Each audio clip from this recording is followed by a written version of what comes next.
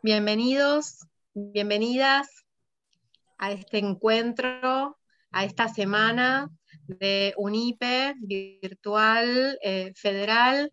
Esta es la cuarta oportunidad en la que la UNIPE organiza actividades dirigidas a la comunidad docente. En nombre de la UNIPE les doy la bienvenida a todos y todas. En esta tarde, hoy, vamos a escuchar a las compañeras de SUTEBA hablarnos sobre la educación en la provincia de Buenos Aires, horizontes de complejidad en la construcción de la escuela que queremos. Van a participar de esta actividad la secretaria de Educación de SUTEBA, Sandra Ramal, la subsecretaria de Políticas Educativas de SUTEBA, Liliana Rossi, quienes ya están acá con nosotras, la subsecretaria de Planeamiento, Investigación y Estadística, también de SUTEBA, Florencia Riccieri, o Riccieri, Marta Suárez, que oficiaría como moderadora, estamos esperando su ingreso, no desistimos y Sandra Verónica González, subsecretaria de Formación, quienes están aquí presentes. Hemos, mientras siguen ingresando, les comento que en esta oportunidad se han diseñado más de 100 actividades y que ya hemos tenido eh, más de 13.000 inscriptos, así que estamos muy contentas y contentos en UNIPE de tener esta jornada. Las voy a dejar Creo que va a tomar la palabra Sandra, es una de ellas. Y, atenta. Gracias, Betina. Eh, bueno, eh, vamos a dar inicio a la charla con nuestras compañeras, a la charla que estaban todos invitados.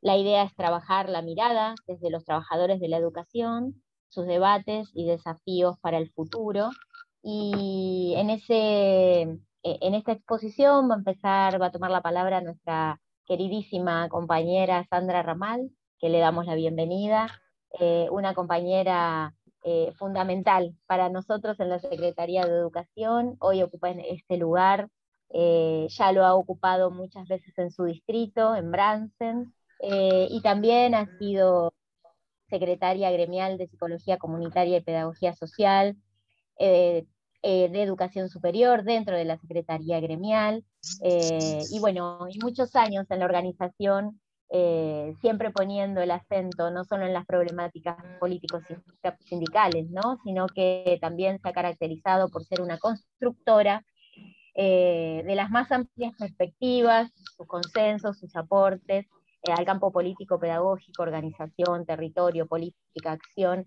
es eh, la, la, tríada que preside todo su hacer, ¿no? Eh, su trayectoria laboral es amplísima.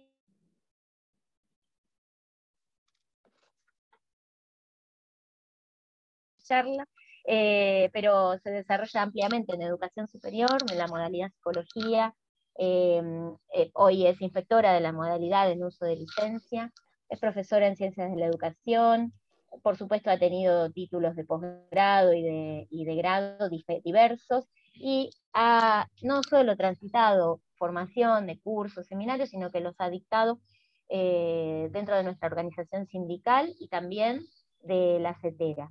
Así que Sandra, un placer será escucharte para todos y todas nosotras ahora. Bueno, bueno eh, buenas tardes a todos y a todas.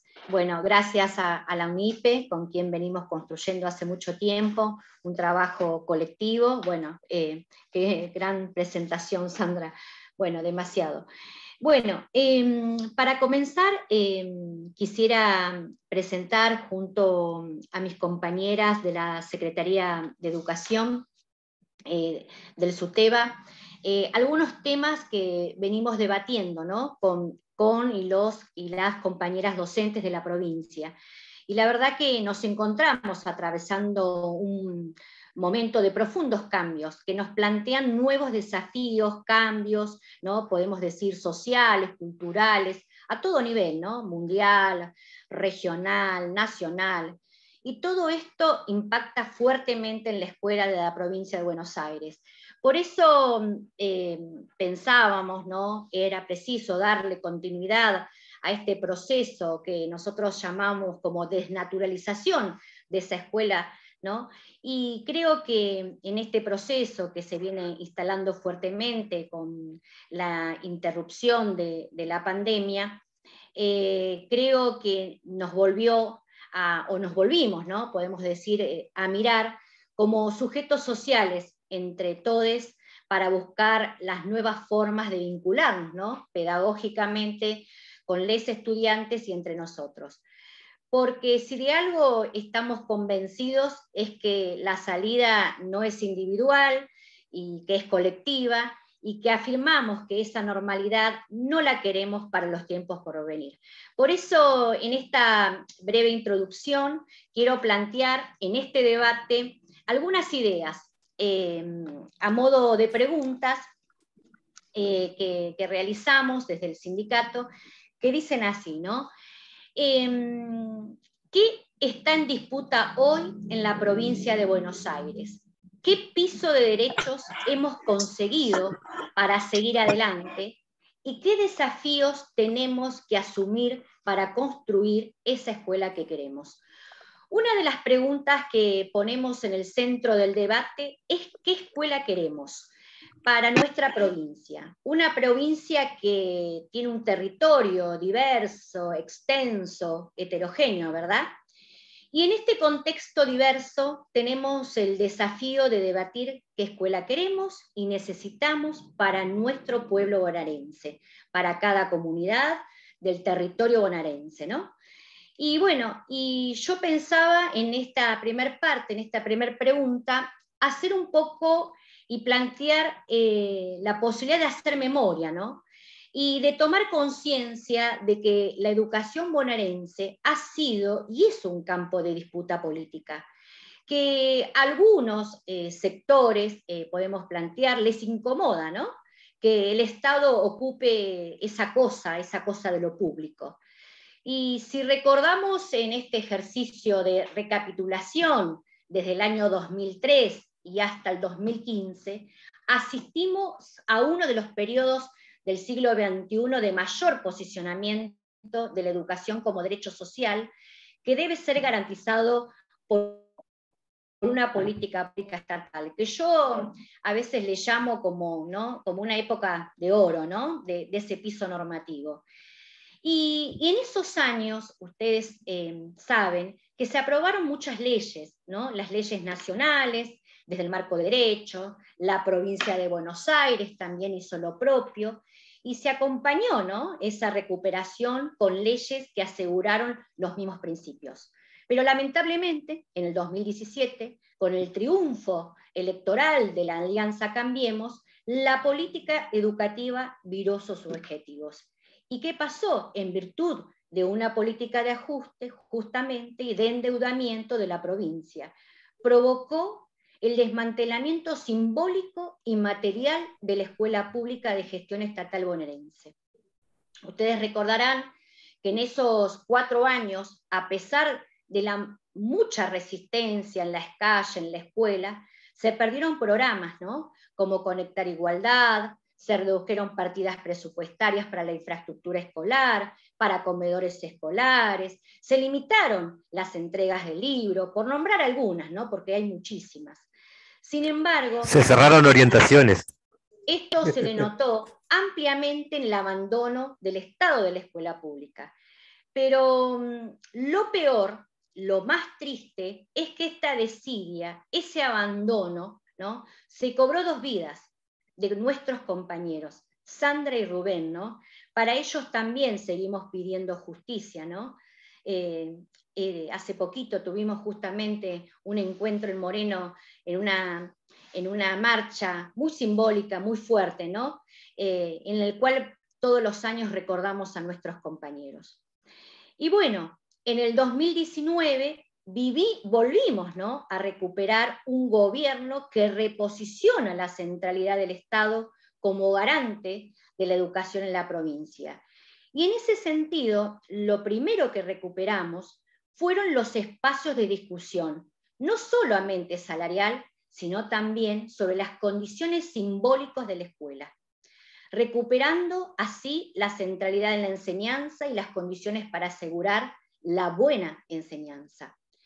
Transcurrimos unos meses ¿no? de esperanza, de expectativas sobre el porvenir, pero lamentablemente la pandemia azotó el mundo, la región, al país y a la provincia. Y nuevamente los sectores de la derecha, ¿no?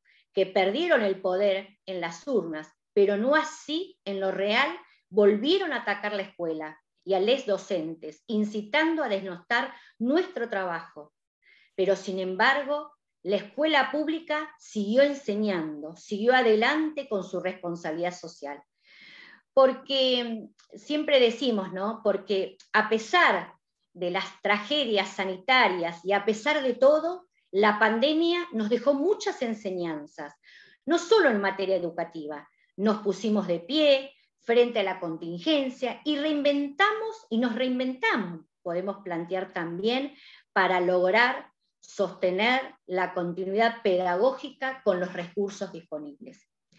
Y también hicimos una nueva alianza con las familias, sostuvimos el lazo social desde lo afectivo, lo asistencial, pero sin descuidar lo pedagógico. Y entonces propusimos nuevas formas y formatos para la enseñanza inclusiva. ¿no? Esto fue muy investigado por nosotros en el marco del Infod, concursos, seminarios, ¿no? infinitas este, experiencias a, través de docentes conectados, en el cual fuimos sistematizando estas nuevas formas y formatos para la enseñanza. Y la verdad que los tiempos extraordinarios 2020 y 2021 seguramente, como siempre lo decimos en nuestros documentos, serán recordados como los años del COVID-19, pero también quedará guardada en la memoria la revalorización de la escuela pública como ese espacio estatal y público que junto a las organizaciones sindicales, políticas y movimientos sociales construyeron rápidamente las redes solidarias donde las múltiples políticas socioeducativas tomaron acción efectiva en cada territorio. Pero quiero reconocer algo. También creo que fue el esfuerzo extraordinario del Estado nacional y provincial para el desarrollo de políticas públicas en materia sanitaria y socioeducativa. Y nosotros, como organización sindical, ahí estuvimos acompañando y valorando todo lo que se hizo para cuidar la salud, para asegurar la continuidad pedagógica y también la asistencia alimentaria. Fundamentalmente estuvimos ahí porque se nos convocó en la mesa paritaria provincial para elaborar el plan jurisdiccional de regreso cuidado, para la provisión de nuevos puestos de trabajo ante la necesidad de revincular a los chicos y las chicas bonaerenses con la escuela en todos los niveles y modalidades. Porque mm, en ese sentido de articular acciones entre sindicatos y Estado y organizaciones de la comunidad, nos permitió también traccionar la política pública necesaria para hacer frente a la contingencia, planificar conjuntamente herramientas simbólicas y materiales que permitieran pelear la situación sanitaria crítica. Porque, como señalara, ¿no? o señala, mejor dicho, Bonetti, es imposible pensar como comúnmente se hace el Estado y la sociedad como dos este, instancias separadas, porque los derechos sociales y las políticas públicas son el resultado de construcciones colectivas y sociales. Y a partir de esto, que no es más que una memoria, podemos decir, muy apretadita de lo acontecido, nos interesa ahora abordar la segunda cuestión que nos planteamos, ese piso de derechos normativos. Yo decía al inicio, ¿no? Desde el año 2003 hasta el 2015 recuperamos parte de, eh, en este caso quiero recuperar ¿no? una investigación de Miriam Felfelber y Nora Blues, eh, cuando ellas planteaban que asistimos a un cambio de paradigma en el marco normativo de la política educativa, veníamos de una crisis profunda del 2001, ¿no? de años de pobreza y de resistencia, y pasamos a la transformación educativa, ¿no? y a las transferencias también de muchos recursos. La verdad que la llegada de Néstor Kirchner, con apenas el 22% de los votos, renovó las esperanzas, porque volvió a reposicionar al Estado como garante de los derechos. En esos años se sancionaron leyes que marcaron un cambio en las políticas hegemónicas de los años 90. Una de las características de esas políticas era la de responsabilizar al Estado de sus obligaciones y pasárselas hacia las instituciones como las escuelas y a los sujetos.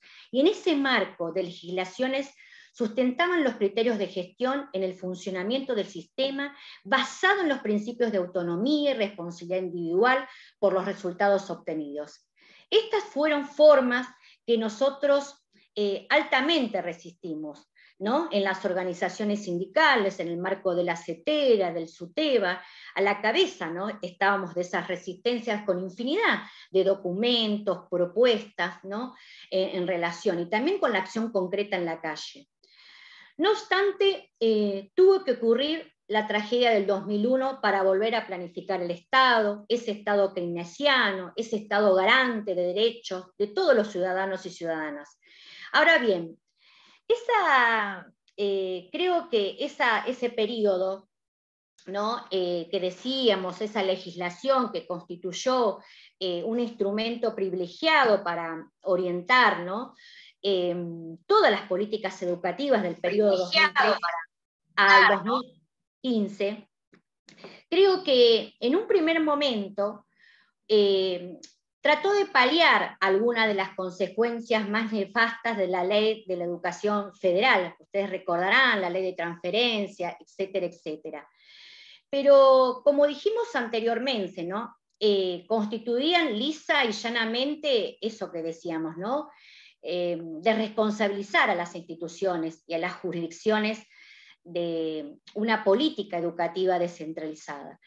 Y sin embargo, eh, el solo hecho de contar con un plexo normativo de derechos no garantizaba todavía superar esas desigualdades, podemos decir, estructurales que sufrían nuestras comunidades y que se veían cotidianamente en las escuelas y que la pandemia eh, puso en evidencia. Podríamos enumerar esas leyes, pero creemos que lo más importante es señalar la coincidencia con lo que plantean estas autoras, ¿no? Estas leyes son la conceptualización de una educación como un bien público y como un derecho social y la centralidad del Estado en la garantía de ese derecho. Y ahí, siguiendo eh, esta lógica y, en el marco siempre de debate, Suteba viene recopilando muchas experiencias, sistematizando y construyendo ¿no? Eh, conocimiento en conversatorios, yo les comentaba, a lo largo del territorio bonaerense, en un proceso de amplia construcción democrática. Y también damos cuenta de, también de esa batalla, ¿no? de esa batalla cultural ante esos embates del neoliberalismo que intento durante los cuatro años de la gestión anterior recuperar esas ideas de la, política educativa de los noventas. Y podemos decir también de manera solapada, con discursos modernos como que los aprendizajes basados en proyectos, educación para las emociones, etcétera, etcétera, ¿no? Eh, y también la cuestión de las neurociencias. Bueno, hemos escrito muchísimo en relación a eso, pero, ¿qué, querían? No? Podemos plantear imponer esa provincia con un modelo mercantilista, privatizador, eh, para la educación pública. Todo esto em, amparado, por supuesto, en, discursos mediáticos, ¿no? basados en magros, eh, eh, podemos plantear o cuestionados resultados de, pruebas estandarizadas, ¿no? que denostan a los maestros, a los profesores, a las profesoras como responsables de esos resultados, ¿no? intentando cada vez más instalar esos modelos descentralizados. Y claro, fueron años muy duros, pero no obstante nosotros seguimos bregando por un sistema educativo federal, pero cohesivo, y nos parece muy importante en este tiempo destacar que lo primero que logramos luego de esos últimos años y desastrosos cuatro años de neoliberalismo fue recuperar, y lo quiero poner en valor y subrayar, la paritaria nacional y provincial. Y creemos que en esta nueva etapa ¿no? de reconfiguraciones, de restituciones de derechos y de mucho aprendizaje, tenemos aún mucho eh, y tenemos un camino por andar, ¿no? Y podemos hacer un balance, sí, de las concreciones logradas, pero también aún de lo pendiente, ¿no? Para esta etapa que viene. Nosotros esta etapa la llamamos como una etapa propositiva, ¿no? Porque tenemos un piso asegurado de derechos en normas como la ley de financiamiento educativo, la educación técnico profesional, ¿no? podemos decir, la de promoción de protección de los derechos de los niños y las niñas, adolescentes, la ley de ESI, ¿no? la ley de educación ambiental, entre otras leyes ¿no? que aseguraron derechos como la identidad de género, el matrimonio igualitario, de IBE, etcétera, etcétera. Y también un conjunto de normativas ¿no? a nivel provincial, que no las voy a nombrar porque se va a hacer largo. Pero por el solo hecho de dictar normas, como siempre decimos en el sindicato, no es suficiente. Y es necesario eh, generar políticas de Estado que aseguren también, ¿no? Porque eh, la vivienda, el alimento, la justicia, la salud pública, para todos y todas. Es decir, una política económica de desarrollo con inclusión, ¿no? En este momento tan convulsionado, tan, de tanta disputa, ¿no? Por la redistribución pero aún decimos que seguimos en defensa de la escuela pública, porque estamos convencidos que desde la escuela se pueden impulsar muchos debates, pero también sabemos que, como señala nuestro compañero Hugo Yasky, presidente de la Internacional de la Educación para América Latina, que para generar cambios hay que pensar desde la política, que es la herramienta transformadora de los problemas de la sociedad. Y en este sentido, acordamos con este gran maestro que la escuela no es neutral. Si queremos generar cambios, es necesario construir una correlación de fuerzas tal que permita hacer que la escuela y la política pública compartan los propósitos y los modos de acción. Y ahí entonces, cuando decimos que la escuela sola no puede, estamos diciendo que necesitamos de un Estado presente, que reponga algo de ese ideal de igualdad que declaran nuestras leyes en una sociedad profundamente desigual. En cierto sentido, a través del sistema educativo, del sistema educativo, pero eh, sobre todo sostenido por quienes a diario trabajamos en él, en cada escuela, que nos hacemos carne de los problemas estructurales de las comunidades, que está en la búsqueda de la escuela que queremos. Esta escuela que busca contribuir a la transformación de la realidad social. Y la paritaria provincial docente es el ámbito natural de discusión entre el Estado y la organización sindical. Y ahí damos la discusión de los consensos, de los, todos los consensos que democráticamente construimos en cada escuela. Y es en esa matriz ¿no? Eh, que podemos decir política, que nos convoca a transitar el siglo XXI hacia esa escuela que, pública que necesitamos, la escuela que tenemos que seguir construyendo, vinculada al desarrollo de un proyecto de país más justo, más solidario, más igualitario. Ahora bien, como para ir terminando, ¿no? El debate me parece que es importante, que debe dárselo en un primer momento, podemos plantear desde el punto de vista general, ¿no? Pero también como planteamos también en lo singular, para dar tratamiento a las particularidades del sistema educativo en una provincia tan diversa y tan extensa como dijimos al principio, ¿no? Pero además necesitamos tratar de discutir cuáles serán esas transformaciones necesarias para que a partir de esa plataforma de derechos que hoy hablamos, ¿no? bandera de lucha nuestra, plataforma, un programa de lucha, como son nuestras leyes, como punto de partida, podamos hacer frente a los nuevos desafíos para cada uno de los niveles y modalidades del sistema educativo eh, provincial que mis compañeras van a desarrollar en profundidad. Y ahí me parece que tenemos una larga trayectoria de universalización, podemos decir de obligatoriedad de la escuela primaria. En paralelo también fue creciendo ¿no? el nivel inicial, las modalidades, pero aún hay una deuda con el nivel secundario. Me parece que estamos en un tiempo para seguir construyendo consensos respecto a la obligatoriedad en ese nivel. Necesitamos no solamente la obligatoriedad, sino también la permanencia, el egreso, ¿no? como siempre planteamos. Y necesitamos también revisar los regímenes académicos de la escuela secundaria, revisar los formatos organizacionales para que los chicos y chicas puedan desarrollar un currículum según sus tiempos, sus ritmos, porque mm, bien sabemos de todas las complejidades en las que están atravesando nuestros adolescentes y jóvenes ¿no? en tiempos actuales. Y entonces no podemos sostener la misma escuela ¿no? creada en el siglo XIX. Necesitamos una transformación en, la, ¿no? en esa escuela que fue pensada, selectiva, para la élite, para la meritocracia, que aloja hoy a estos nuevos sujetos que por ella transitan ¿no? estudiantes ¿no? en este siglo XXI.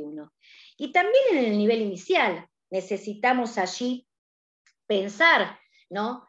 Eh, en las nuevas familias, en las relaciones con las escuelas, reconstruir nuevos vínculos, saldar viejas deudas para el nivel inicial con más jardines de infantes, centros de atención para la primera infancia. Y en el nivel primario también, ¿no? No se trata de una hora más o menos de clase, sino de asegurar condiciones de subjetivación en una cultura común, más que jornada extendida, hoy cada vez más complejas esas nuevas familias, ¿no? requieren, ¿no es cierto?, de escuelas de jornada completa, más que nunca, ¿no? para garantizar una enseñanza de calidad. Y en el nivel superior, ¿no? Eh, al que tenemos consagrado como derecho en las leyes, ¿no? el derecho, ¿no? todos tienen acceso a la educación superior, creo que hoy, más que nunca, eh, falta efectivamente asegurarlo eh, con mejores y más ofertas de formación docente, tecnicaturas, también necesitamos allí seguir actualizando los diseños curriculares que se encuentran vigentes, ustedes recordarán, desde el año 90, ¿no? Necesitamos ahí también eh, renovar ¿no? en perspectiva, en ese horizonte de transformación, la ley de educación superior, incluyendo también la cultura digital, la ley de ESI, educación ambiental. Y, bueno, y finalmente ya para dar palabra a mis compañeras, queremos eh, enfatizar en la necesidad y la urgencia de resolver los problemas de las y los ciudadanos de este país. Sabemos que los esfuerzos que está haciendo la provincia de Buenos Aires, el gobernador Axel Kicillof, pero entendemos hoy más que nunca es necesario reunir a todas las fuerzas para consolidar las bases democráticas, sostener el Estado como garante de derecho y a la escuela pública como una unidad pedagógica del sistema educativo que lleva para adelante una gran tarea con enorme responsabilidad y centralidad eh, para la enseñanza, para asegurar al derecho, eh, el derecho al conocimiento, al acceso a la cultura común y al respeto por todos y todas las diversidades de, nuestro pueblo oranense. Bueno, nada más, hasta ahí. Muchas gracias. Muchas gracias, Sandra. Bueno, y ahora nos toca escuchar a, nuestra compañera Liliana Rossi. Eh, bueno, ella es profesora de educación primaria, eh, es directora titular de la EP72 de Lanús, ha participado hace muchísimos años del, del SUTEBA eh, fue secretaria de Cultura y Educación, como antes se llamaba nuestra secretaría, en el SUTEBA Lanús. Eh, participó de proyectos de investigación coordinado por Delia Lerner sobre, lectura en ciencias sociales de la Secretaría de Educación de SUTEBA y fue secretaria adjunta de ese distrito y es hoy secretaria general por segunda vez del SUTEBA Lanús. Pero más allá de, su recorrido en la docencia y su recorrido sindical, eh, lo que nosotros eh, queremos decir para presentarla es que Lili, eh, eso que enumeré recién, no, visibiliza su potencia real y su audacia en la construcción de nuestro sindicato. la caracteriza siempre su participación plena en el trabajo su participación en el campo socioeducativo, en su palabra y accionar, es un constante movimiento.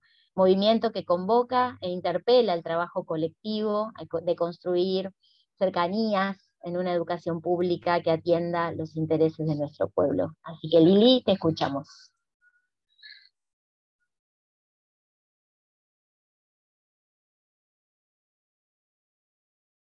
Estás muteada. Ahora sí. Gracias, Sandra. Eh, bueno, eh, buenas tardes, compañeros, compañeras. Un gusto poder compartir, digo, parte de lo que venimos construyendo colectivamente desde nuestra organización sindical en relación a esta gran pregunta, ¿no? ¿Qué desafíos tenemos para construir esa escuela que queremos? Después del recorrido que, que realizara mi compañera Sandra Ramal a partir del piso de derechos y en perspectiva, nos interesa profundizar acerca de cuáles son los desafíos a asumir para construir esa escuela que queremos en el contexto actual. Eh, los trabajadores de la educación de todos los niveles y las modalidades tenemos que reconstruir el sentido de la escuela y de la educación pública. Eh, para estos tiempos que son complejos, como bien lo decía Sandra, y muy diversos. Entonces es momento de revisar cuáles son las condiciones y los procesos de trabajo que la pospandemia nos impone. Para transformar la escuela, nuestro compañero, gran colaborador de muchos años en el SUTEBA, Héctor González, siempre nos, nos dice que es necesario, y hay material teórico sobre eso para transformar el trabajo docente, que es necesario transformar el trabajo docente y esto significa visibilizar las condiciones de producción del conocimiento,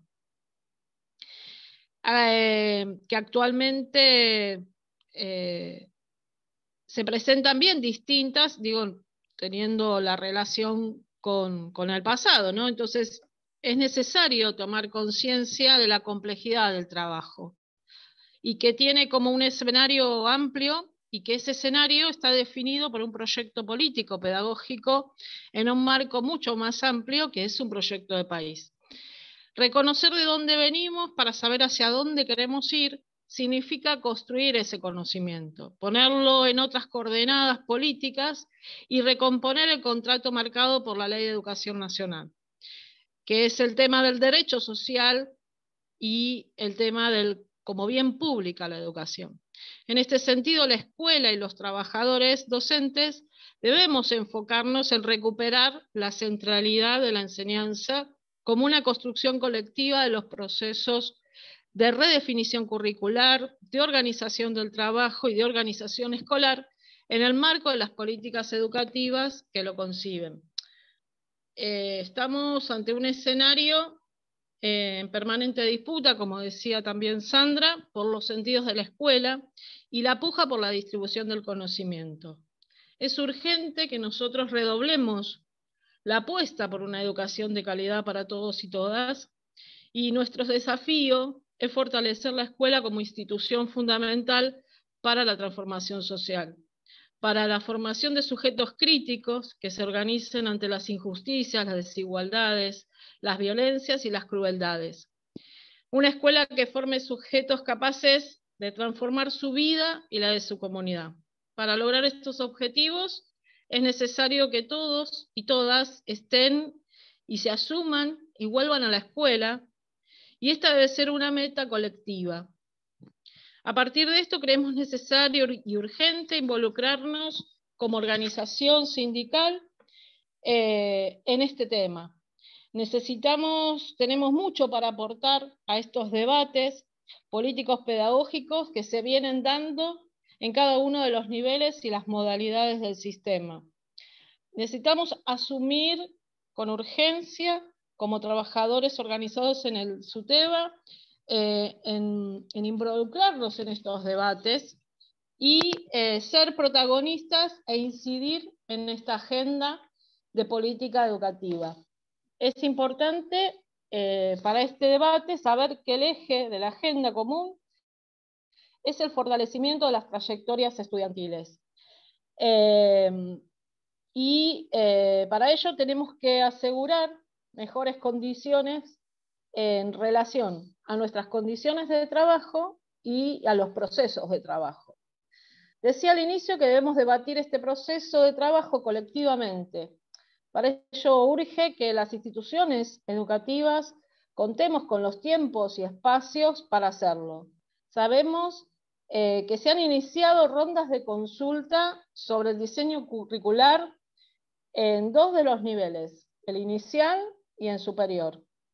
La discusión sobre los diseños curriculares en el nivel inicial es un punto de inflexión entre un nivel que prepara, que sienta las bases para la continuidad en los otros niveles. Por eso es necesario definir cuál es la propuesta para abordar la alfabetización inicial para los cálculos numéricos, para comenzar a leer el mundo social y natural. Es un nivel clave, sobre todo para las infancias de los sectores más afectados eh, por las condiciones de vulnerabilidad económica, por la falta de oportunidades y de referencias culturales. Por eso decimos que el debate debe centrarse en cuál es la función del nivel inicial, cuál es el propósito, qué necesitan nuestras comunidades y qué espera recibir el nivel siguiente de los niños, niñas y niñas que egresan del jardín. Entonces, la discusión del diseño curricular debe ampliarse a qué instituciones serán las capaces de atender las demandas de estos tiempos, partiendo de un nivel que fue absolutamente despojado del sentido curricular durante la gestión de Cambiemos.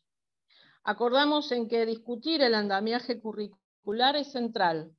Sin embargo, no es suficiente. Al menos debemos revisar los sentidos de la educación inicial, las agencias educadoras necesarias y los procesos de trabajo requeridos para las nuevas agendas de las infancias y de las familias. Por otra parte, también el nivel primario se viene dando debates eh, en relación a la organización del trabajo. En el marco del artículo 28 de la ley, establece, de la ley de educación provincial, establece que se ha iniciado la necesidad, necesitamos volver a, ampliar la oferta de las jornadas completas y las jornadas extendidas.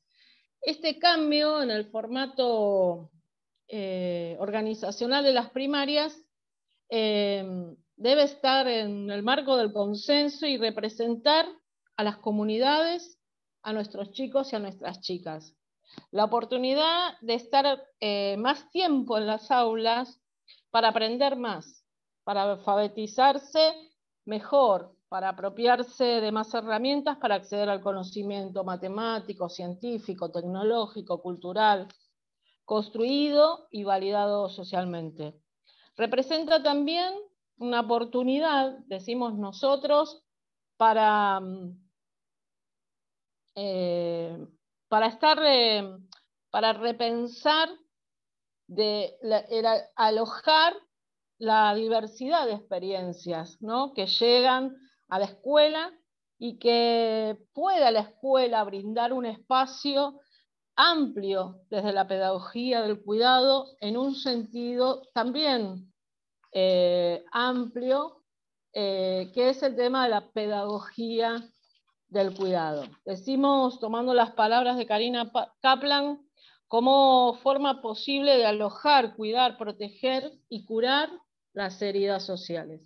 Asimismo, una escuela que ofrezca las mejores condiciones para asegurar las trayectorias de permanencia, asistencia, articulación, vinculación y aprendizajes en estos tiempos complejos.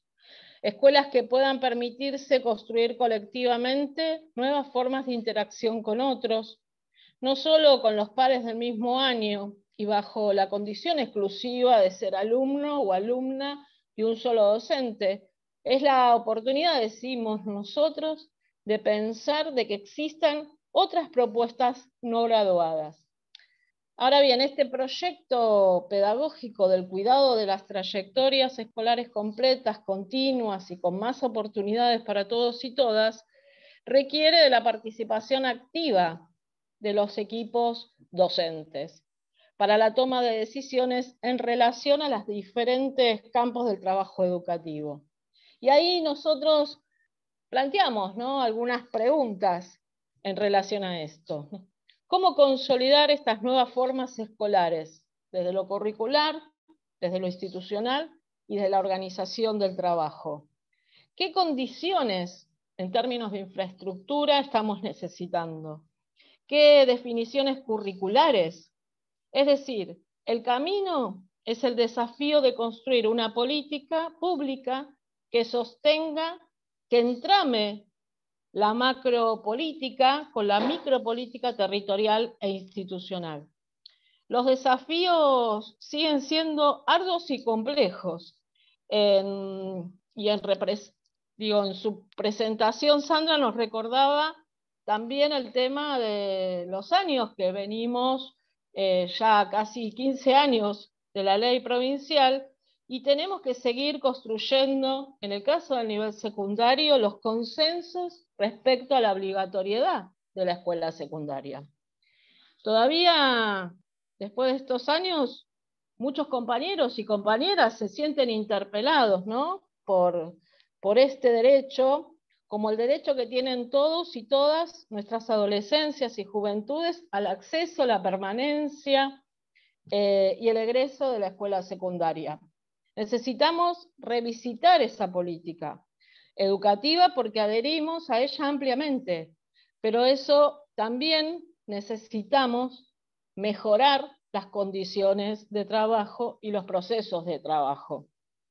Cuando pensamos en las condiciones, nos referimos a que necesitamos eh, constituir equipos docentes más estables y para ello es necesario eh, superar la sobrecarga laboral, que implica la fragmentación horaria y la dispersión de las, de las y los profesores en distintas escuelas. Esa dispersión atenta no solo contra las condiciones personales, entendemos nosotros esto de ir de una escuela a la otra, sino que también hace el hábil el contrato implícito con la escuela. Por eso, para poder fortalecer el sentido de permanencia, el involucramiento en las mejores trayectorias de los estudiantes, las reconfiguraciones al formato escolar tradicional y los proyectos institucionales transversales para las mejoras. ¿no? Digo, no podemos pensar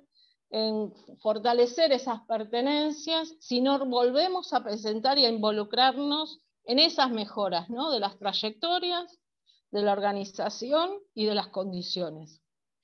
Sabemos, eh, sabemos hacer escuela, porque tenemos una larga construcción sindical con docentes comprometidos con las instituciones, con los estudiantes, y es que por eso nos ponemos a la altura de las circunstancias y queremos ser parte del debate, además de lo anunciado anteriormente, de los marcos regulatorios que organizan la escolarización. Uno de esos marcos los constituye el régimen académico para la escuela secundaria. Para nosotros, además de ser una herramienta que define una serie de regulaciones respecto a la práctica educativa, lo reconocemos como un documento público que explicita sus intencionalidades em, respecto de la forma de entender la enseñanza, los aprendizajes en una cultura y en una sociedad determinada, por lo que no está exento en este juego de relaciones. El, régimen académico se inscribe en un proyecto político de un modelo de sociedad, de su reconocimiento hacia la construcción de una ciudadanía plena para todos los estudiantes que asisten a la escuela.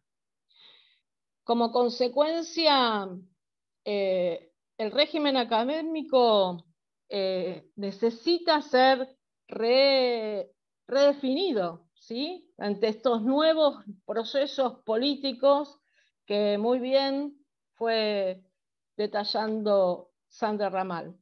También decimos que el régimen académico es la síntesis de la ley de educación provincial y de la ley de educación nacional, de las leyes de promoción y protección de derechos de niños, niñas, adolescentes y jóvenes, también de la ley de ESI, entre otras normas desde el marco del derecho. Por eso creemos que es necesario debatir cómo vincularnos y convivir para construir acuerdos y consensos. Yo hoy estaba en una escuela en Lanús, una escuela secundaria, la escuela secundaria 23, y los estudiantes estaban participando fuertemente de este debate, del debate sobre los acuerdos de convivencia. Entendemos que, el régimen académico debe considerar como, como imprescindible armar estos espacios, generar estos espacios para este debate y para que la palabra circule. Vivimos tiempos y situaciones extraordinariamente complejas, desde lo emocional, lo afectivo y hasta lo sanitario, durante y después de la pandemia. Situaciones prevalentes que se intensificaron y surgieron otras nuevas que, materializaron en el que se materializaron en el regreso y en el no regreso a la escuela. Todo un desafío, ¿no? Hablar de lo que nos pasó. Para poder recuperar la palabra, la amistad, el lazo, no solo con la escuela, sino entre los mismos estudiantes. Por eso es que también es un debate urgente configurar las horas de clase en tiempos para que tanto jóvenes como adultos puedan destinar un momento a la escucha atenta de las necesidades y el poder constituirlas como itinerarios de enseñanza y aprendizaje de contenidos socialmente significativos para esos nuevos sujetos de la escuela secundaria. Necesitamos no solo la construcción de acuerdos referidos a la convivencia, sino también a definir qué escuela se desea. La adolescencia no es solo un momento de máxima vulnerabilidad, también es el momento del despliegue de lo que potencialmente posee cada uno y de lo que puede inventar. Ellos son los portadores, nuestros adolescentes, nuestros jóvenes, de lo nuevo, del signo del presente y del futuro. Asumir como generación el legado de cuidar y proteger a lo que sucede supone transformar la escuela en un espacio propiciatorio para la construcción de subjetividad de estos adolescentes y jóvenes. Significa acompañar a la nueva generación en el arduo y apasionante camino de asumirse sujetos de la historia colectiva para construir entre todos y todas una nueva sociedad, un mundo nuevo. En síntesis, para los niveles obligatorios necesitamos una política pública que nos pregunte, que nos dé lugar, pero sobre todo que asegure condiciones materiales y simbólicas para el trabajo de enseñar y de aprender. Construir estos horizontes de complejidad en la construcción de la escuela que queremos requiere el acompañamiento de un sistema formador que garantice territorialidad en la oferta educativa e impulse el sostenimiento de políticas públicas para acompañar las trayectorias de nuestros estudiantes, para avanzar hacia la universalización y el 100% de cobertura en todos los niveles del sistema educativo.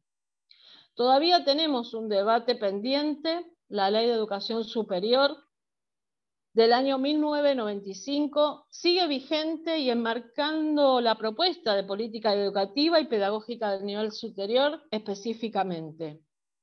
Y decimos superior y no universitario con la consiguiente, porque así lo creemos, ¿no?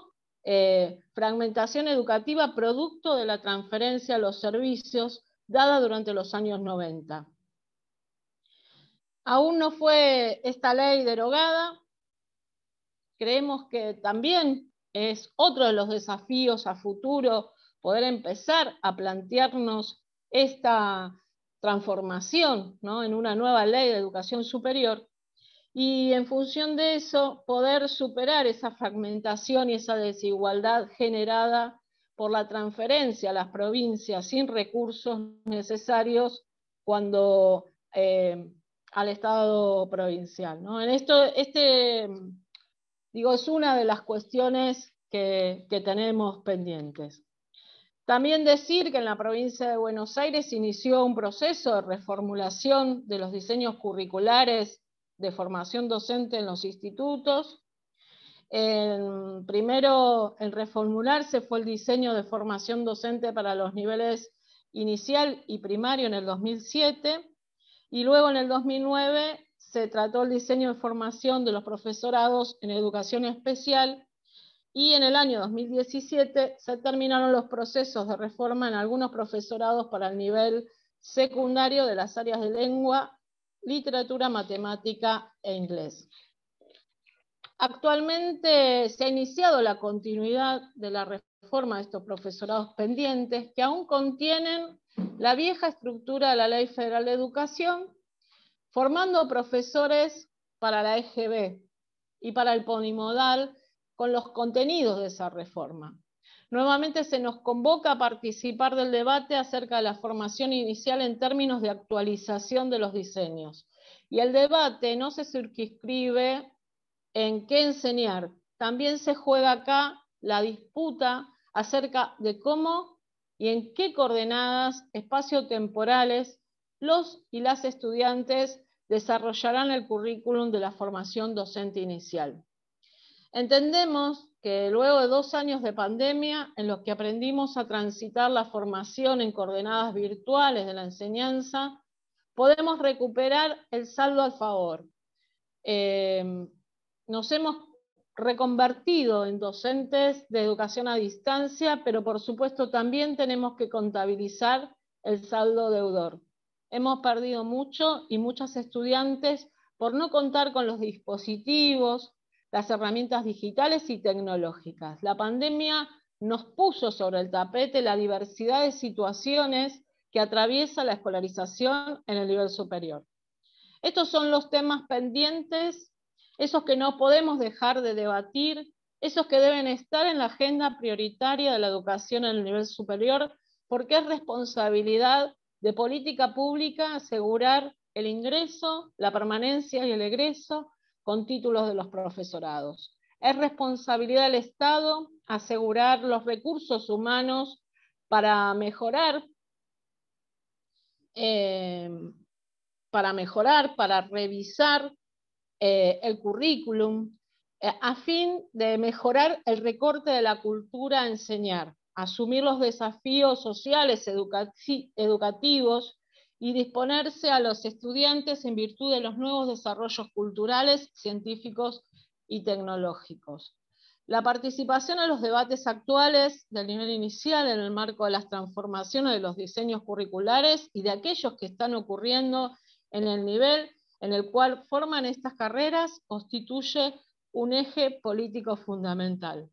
También estamos en un proceso de debate de los diseños curriculares para, del, nivel secundario, de la modalidad de jóvenes y adultos, también tratando de sacar, de, de transformar esa matriz que, en la que fue pensada, ¿no? porque también esos diseños constituyen y representan a otra etapa política y educativa de nuestro país.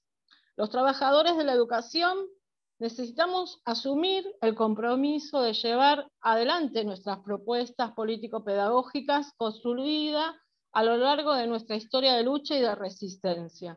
En estos debates queremos aportar la formación a la formación inicial y permanente las transformaciones culturales, económicas, tecnológicas y políticas. Es por eso que asumimos de manera protagónica los debates sobre la formación docente con el, con el propósito de contribuir en su mejoramiento en, en contexto. Intentamos además aportar algunas claves para el fortalecimiento institucional y de los procesos de trabajo desde una perspectiva situada. Para finalizar, desde nuestra organización sindical pensamos que somos parte del campo de la producción del conocimiento social y como tal aportamos a la construcción de un país y por eso nos asumimos como trabajadores de la educación.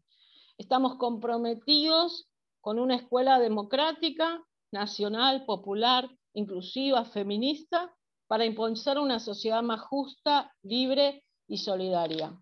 Tratamos de aportar para la construcción de propuestas políticas que nos permitan recuperar la politicidad del acto educativo, volver a recuperar el sentido político y la centralidad de la enseñanza para desarrollar un proyecto emancipador y popular. Por eso en estos tiempos, donde todo está en construcción y la construcción debe ser necesariamente participativa, buscamos ampliar los espacios de intercambio para recuperar lo que hicimos y estamos haciendo y para también repensar en clave de política educativa. Desde cada una de nuestras comunidades, desde nuestras escuelas, queremos ser partícipes y constructores de esta nueva época educativa. Muchas gracias, compañeros y compañeras.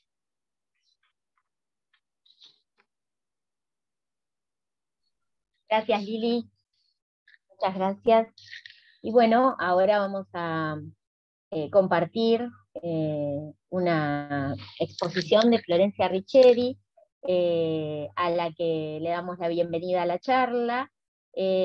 Florencia es subsecretaria de Planeamiento, Investigación y Estadística Educativa en la Secretaría de Educación del SUTEBA de la provincia de Buenos Aires.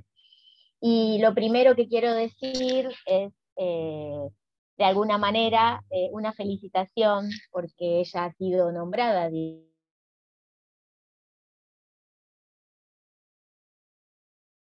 inaugurado oficialmente en el día de ayer, eh, la creación de nuestro instituto del SUTEBA, eh, un sueño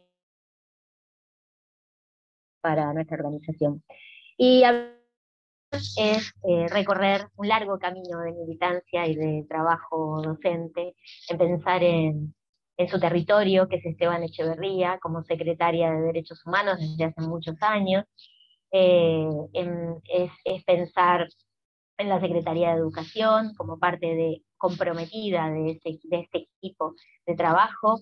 Eh, también dirige la revista La Educación en Nuestras Manos, Utopías en Movimiento, de nuestra organización, eh, la dirección que la lleva adelante amorosamente y va recogiendo y sistematizando múltiples proyectos que circulan en las escuelas de la provincia de Buenos Aires. Es profesora de primaria, también licenciada en Ciencias de la Educación y alfabetizadora de adultos.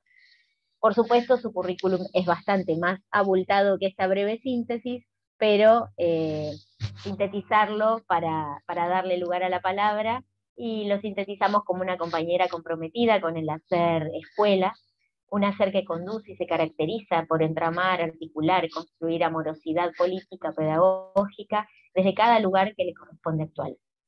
Amorosidad eh, es la palabra que la representa, ¿no? que se traduce en un constante eh, construir en el territorio, en lo colectivo, donde la, la política y la educación se funden permanentemente.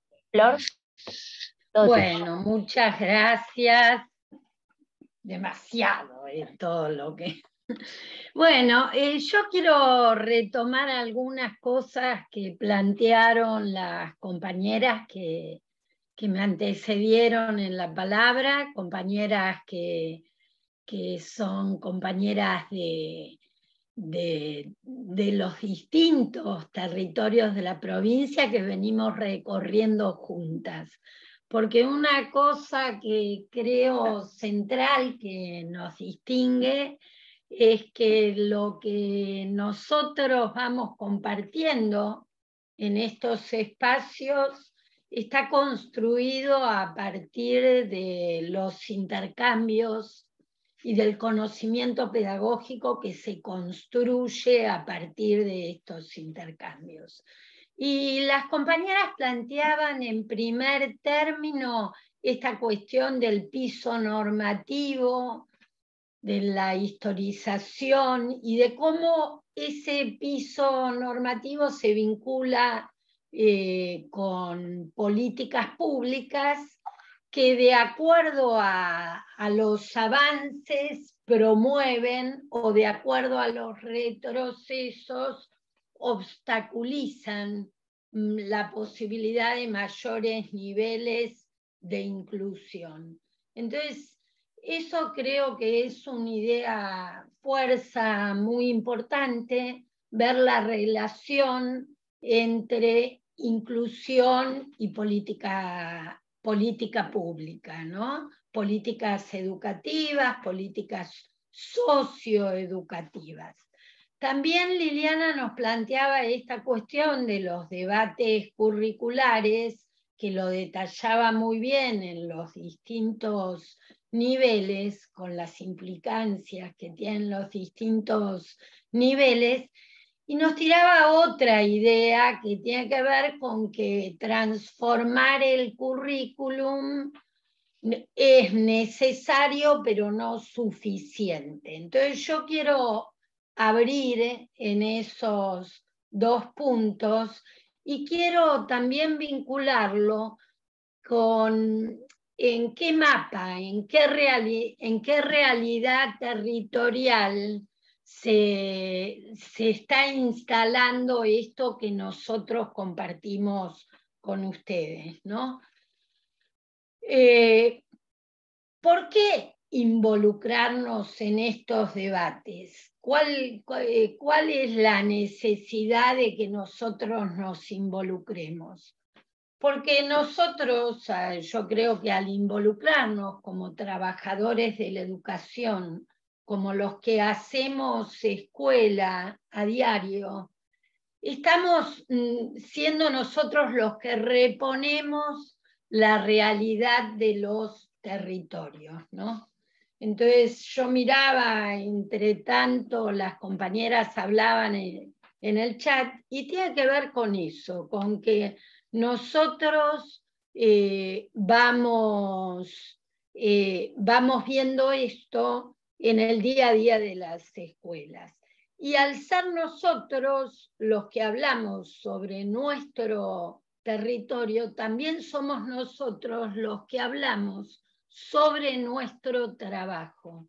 Entonces evitamos esta cuestión de que sean siempre otros los que hablan sobre la escuela, sobre nuestro trabajo, eh, a veces sobre realidades que, eh, de los que no, no tienen, eh, no pueden llegar a definir la complejidad, ¿no? En primer término, yo les decía que quería traer algo de números no porque me hayan puesto ahí en el lugar de la investigación y la estadística, sino también porque creo que es importante reponer siempre un análisis cualitativo de los datos cuantitativos.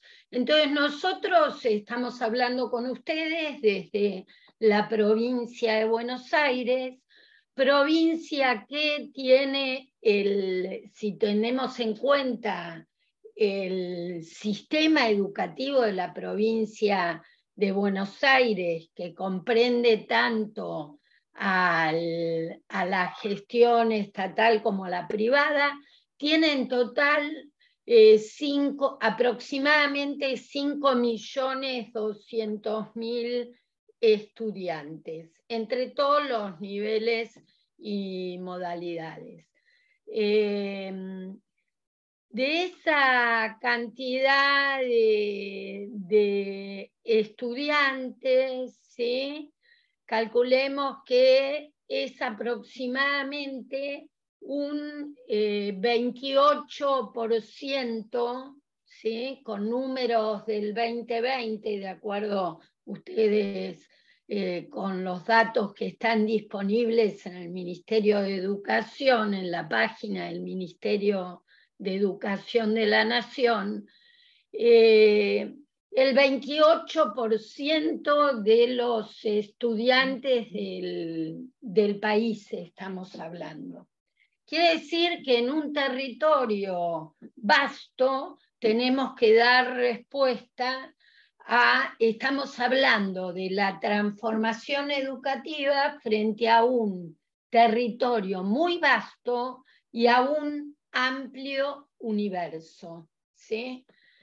Evidentemente, cuando uno da el debate, cuando uno da el debate, surgen voces, ¿sí? Surgen voces que, piensan de una forma y que piensan de otra, ¿no? Entonces aparecen las tensiones en ese debate. Y esas tensiones muchas veces también son las mismas tensiones que atraviesan a la sociedad que atraviesan a la sociedad, que atraviesan a la escuela y que muchas veces son alentadas por medios de comunicación que atacan a la escuela y que en realidad ocultan un debate, eh, ocultan que el debate es político-pedagógico, ¿no? Ocultan. Entonces sabemos que esto eh, pone en el, siempre que queremos transformar, eh, estamos teniendo, estamos protagonizando una mm, disputa que es político-pedagógica. Y frente a eso podríamos decir que eh, si, si lo redujéramos a dos grandes modelos, podríamos plantear que hay un modelo que con todos los grises que después implica hablar de dos grandes modelos, ¿no? Después habrá grises, pero en la disputa política habría un modelo que antepone el mérito y el individualismo, que ataca sistemáticamente la educación pública y habría otro modelo ¿sí? que plantea una opción democratizadora, crítica, participativa, que piensa que hay que tejer tramas vinculares, ¿sí? Para alojar, enseñar, acompañar realidades que son muy diversas, que son muy diversas y que a esto se le suma la complejidad que cuando uno lo quiere hacer en clave emancipadora, ¿sí? supone que ah, está apostando a aprendizajes integrales que busquen desarrollar y promover eh, el aprender a pensar, a sentir, a decir, a hacer y a convivir para transformar el mundo. A ver, esto me parece que también es una idea central. Nosotros, ¿para qué, si estamos educando para ocupar el lugar que le ha sido asignado en un régimen, en una sociedad muy desigual, o si los estamos formando para transformar ese mundo en función de un mundo con más justicia social. Entonces eso, porque la escuela propone siempre un horizonte de igualdad para una sociedad que es profundamente desigual. Entonces nosotros ahí tenemos la tensión de también eh, educar para transformar esa sociedad. Y como pensamos que esto es posible a través de la producción colectiva del conocimiento, esa producción requiere de procesos colectivos, procesos de trabajo colectivos, proyectar, intervenir, evaluar, o sea, como la rueda, ¿no? Permanentemente eh, replantear intervenciones en función de la, de la evaluación del proceso colectivo de trabajo. Entonces, em, ¿por, qué, ¿por qué diseños curriculares? ¿Sí? Pensemos que la escuela, genéricamente escuela, ¿no? Jardín, escuela, instituto, lo que sea, se apoya en tres campos, se desarrolla como a través de estos tres pilares que son la organización curricular, ¿sí? como esta selección de elementos de la cultura que, que también y sería otro, eh, eh, es el resultado de un recorte, pero de un recorte que también implica luchas y conflictos, ¿no? Eh, bueno, entonces, por un lado, implica este recorte donde hay después va a representar una producción y distribución de conocimiento al interior de, la, de la escuela, de la institución, pero para, para que esto suceda también hay una organización de espacios y tiempos ¿sí? dentro de la escuela. Tiempos que se van a definir en función de, de, cómo se organiza el trabajo docente. Entonces, ¿qué procesos de trabajo tiene que desarrollar el docente, ¿sí? el trabajador, para construir colectivamente el conocimiento? Cualquier modificación que yo quiera hacer en la forma de construir conocimiento adentro de una escuela, no de una, no solo de una en particular, sino que plantea a través del diseño, va a tener que acomodar los otros campos, ¿sí? va a tener que introducir modificaciones en los otros campos. Uso la idea de campos porque eh, tiene que ver con esta cuestión de, de, las tensiones y modificaciones, ¿no? Eh, entonces, ¿cómo promover entonces la continuidad de las trayectorias? ¿sí? Por eso disputar el sentido del trabajo tiene que ver con describir esos procesos, procesos de trabajo, ¿sí? Entonces, eh, si nosotros vemos, eh, nos concentramos por un minuto en el, en el nivel superior, ¿sí? vemos eh, que para el nivel superior nos encontramos en ciertas condiciones institucionales que secundarizadas por ahí, ¿no? Con una gran eh, fragmentación, con, si bien eh, incluso los diseños curriculares, eh, los diseños curriculares que actualmente están en debate, son diseños curriculares que habían sido producidos para la ley federal. O sea que si bien hay adaptaciones de los eh, que se hacen institucionalmente en cada profesorado, habían sido diseños producidos para eso. Entonces, eh, esto nos lleva digo, ¿qué es lo que pone sobre el tapete, eh, por decirlo en el léxico de todos los días? Me parece que lo que una de las cuestiones es ver que las transformaciones, más allá de tener en cuenta lo curricular y los distintos campos, tendrían que tener también una perspectiva integral porque estamos hablando de sistema educativo. Entonces, parte de esta cuestión de para qué vamos a formar tiene que comprender sus vinculaciones con el resto de los sistemas.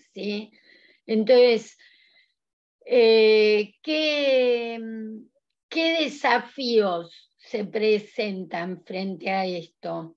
Si tomamos el, el nivel superior, que la formación que ofrezca el nivel superior tiene que contemplar los, las metas y objetivos del resto de los niveles para los cuales forma. ¿sí?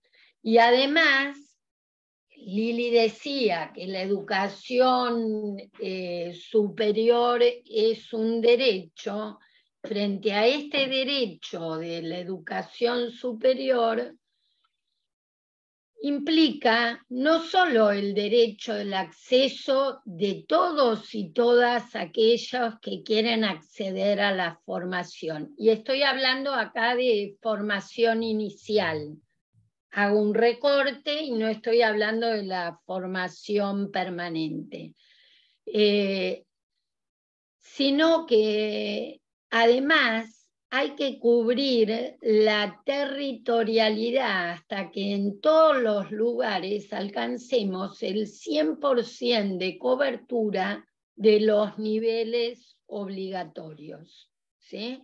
Entonces, no solo es el, el acceso de el deseo de aquellos que quieren estudiar, sino que además hay que promover en el mapa formador para cubrir las necesidades de un sistema educativo que eh, tiene que alcanzar, es un debate interesante el que se daba con algunos, para ver, nos sirven los chats de docentes conectados o de cualquier exposición, también nos sirven para ver los debates que muchas veces no están totalmente saldados en la sociedad, en el seno de la sociedad, en el seno de la escuela y que aparecen también eh, en la sala de profesores o en la sala de maestros. Em, en ese sentido, surgía en relación, en el chat, en relación a la educación secundaria, ¿sí? a la obligatoriedad de la educación secundaria. Y yo creo que es muy importante entender que esto de los avances y retrocesos, porque Em, no, que exista una ley y que existan políticas no quiere decir que esté garantizado eso. Necesitamos de los sujetos que habitamos las escuelas, que habitamos el Estado, para llevarlos adelante y hacerlos realidad. A mí me tocó ahora, recientemente, las compañeras me, Sandra me felicitaba en realidad por algo que es una responsabilidad que asumo, pero en la que me acompaña toda la Secretaría de Educación. Eh, me tocó empezar a organizar una propuesta de nivel superior y tratamos de hacerlo desde, una desde la forma que nosotros pensamos que tiene que ser la organización de una institución.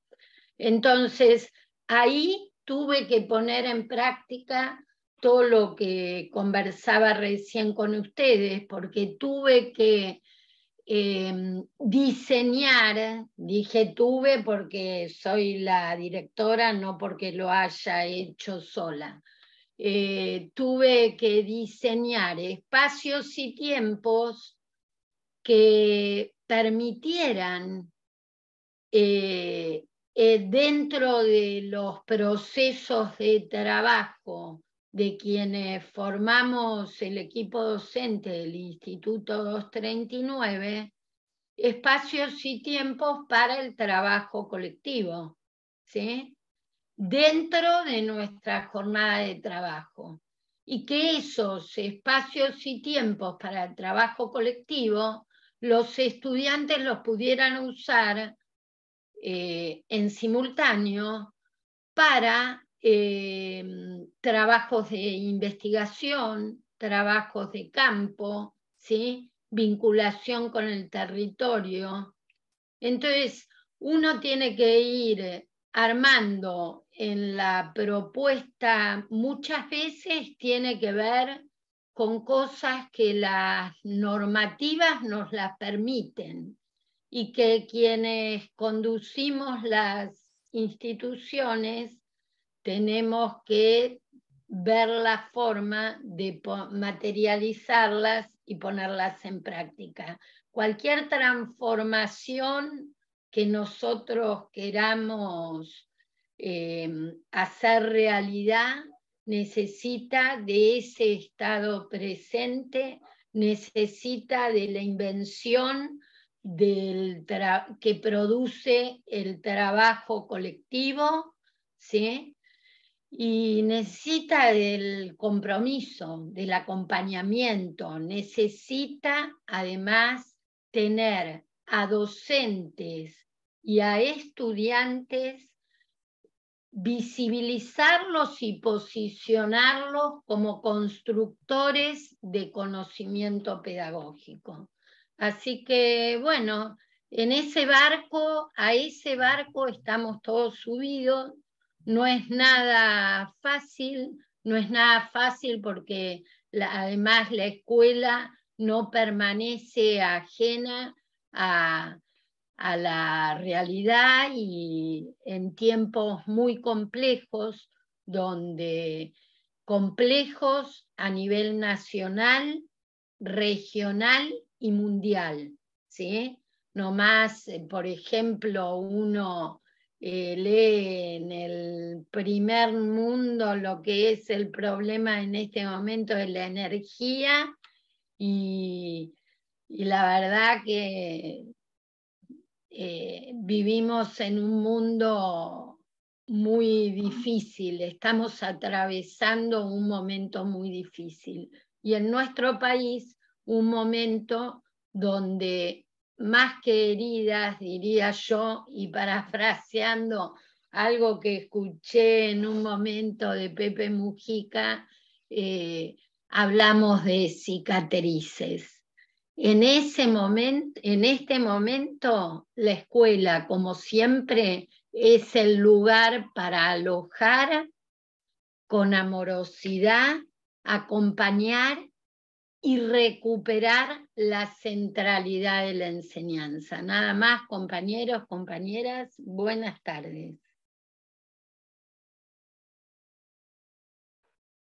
Creemos que en esta mesa de lujo, en esta mesa que sintetiza las miles de voces de las trabajadores y trabajadoras de la educación, este, vamos completando y vamos cerrando esta tarde con algunas cuestiones, verificando si estas palabras que circularon en la mesa circulan en los territorios.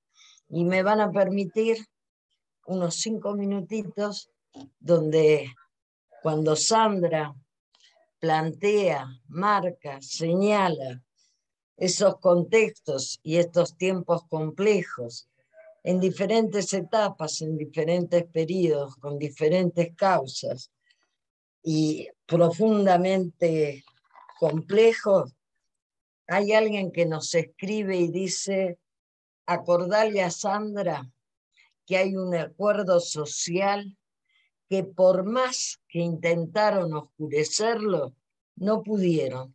Es más que notorio, es que la educación pública sus instituciones públicas estatales son las que garantizaron y continúan garantizando el derecho a la educación y sus docentes son irreemplazables, compañeros del interior.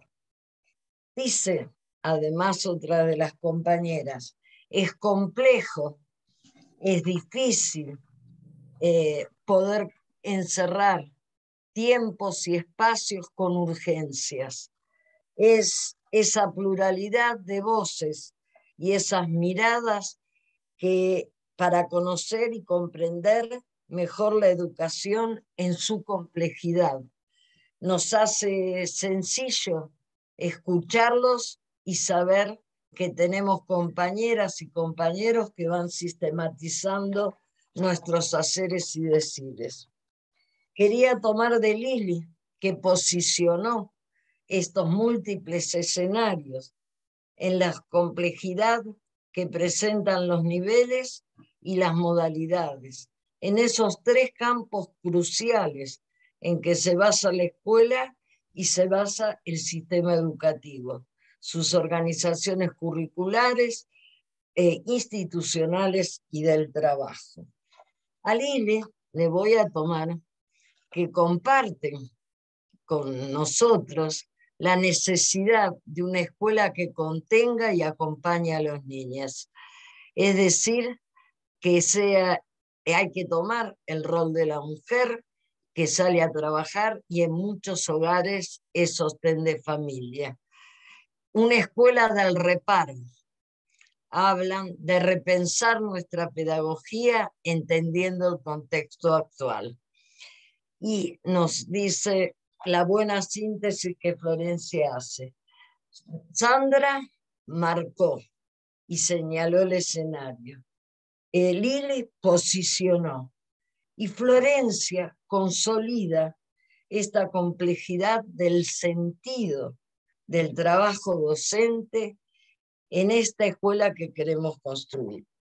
Y venía pensando todas estas cuestiones y hace unos poquitos días me atrevo a tomar como inició Francia Márquez, vicepresidenta electa de Colombia, cuestiones sencillas de la vida cotidiana y que nos decía, las cuestiones se van comunicando entre sí. Solo hace falta agudizar un poco la mirada para darnos cuenta. En este proceso estamos, darnos cuenta. Por eso creo que esta mesa presenta una agenda de lucha. Una lucha para que emancipar y transformar cobren sentido. No una agenda calendario, no una agenda impuesta, sino una agenda de conformación de procesos donde creo que podemos sintetizar que está completa cuando detonemos preguntas, cuando cuestionemos respuestas, cuando podamos religar los diferentes saberes, cuando podamos repensar que las verdades tenidas como ciertas hasta hoy las estamos poniendo en duda. Cuando el atreverse a transformar, a transfigurar, a transmitir, a transfundir. Ese trans efímero de todo conocimiento. Se van a convertir en los ejes vertebradores de un planear para proyectar. Eso es nuestra agenda de lucha. Requiere de una planificación cuidadosa, minuciosa, desarticulando y articulando. Nos plantearon el articular, el integrar y el democratizar. Tres verbos que nosotros vamos a tomar como ejes vertebradores para poder recobrar ese sentido de anticipar y de prever que siempre tuvo la educación. Anticipar y prever para que nuestras generaciones puedan vivir dignos presentes y no esperar futuros imposibles. ese futuro que estamos conformando entre todos y que nos lleva a pensar algunas de las otras cuestiones que teníamos a forma de poder ir sistematizando cuidadosamente para volver a repensar una y otra vez. Nosotros, compañeros, agradecemos quienes estuvieron y nos están siguiendo en Docentes Conectados, el espacio de, que nos brinda la UNIP en esta semana y una vez más esta mesa ratifica que la única lucha que se pierde es la que se abandona. Fuerza compañeros, nos volvemos a encontrar en otro espacio para poder transformar la escuela que queremos. Gracias. Sí, habla Mabel. Estás muteada, Mabel. Después habla Rosana. Hola, buenas tardes. No, Marta, este, puse un aplauso. Felicitaciones a las tres expositoras y a vos por tu increíble, como siempre, síntesis tan, tan significativa y tan jugada. Muchas gracias. Era eso nada más. Rosana. Yo estoy igual que Mabel, puse un aplauso, la verdad que es un gusto eh, este espacio eh, compartido con compañeras y compañeros y esta historización que hicieron las compañeras, como vos decías, eh, Sandra, y todo esto que nos llevamos hoy. la verdad que el SUTEBA es muy grande y tiene un gran corazón y me parece que eso es lo más importante en esta en esto que nos proponemos, ¿no? de, la, de la escuela que queremos, de la educación que queremos, y, y, lo ha demostrado históricamente. Así que nada, simplemente de saludar. Era un saludito. Gracias, muy agradecidas y nos encontramos en todo momento porque todas las rutas nos llevan al mismo camino, encontrar una educación pública de calidad y de interés para el pueblo. Gracias.